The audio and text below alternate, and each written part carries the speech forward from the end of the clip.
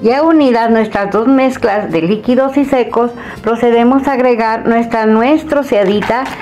Como les, les recomiendo que la enharinen un poquito, la enharinen para que no se vaya al fondo del panque, sino que se quede incrustado así en lo del medio bien sabroso.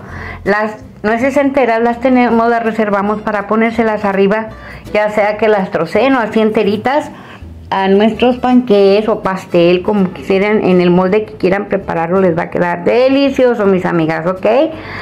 Lo metemos al horno aproximadamente a 350 grados. Ya vamos checando cuando estén esponjaditos de lindo color y metemos el cuchillo o palito para saber si sale ya limpio. Es que están listos sus panqués o pastelitos de banana. A saborearlo, mis amigas.